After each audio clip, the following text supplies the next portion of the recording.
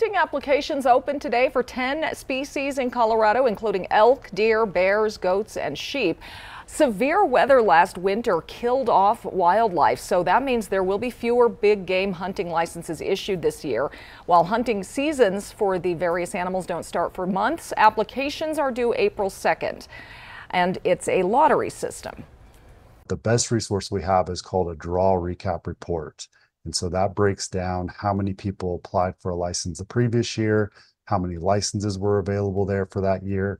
And so if you can look up your hunt code in that draw recap report, you can see what kind of chance you have at actually drawing a license. You can learn more about the application process on the Parks and Wildlife website.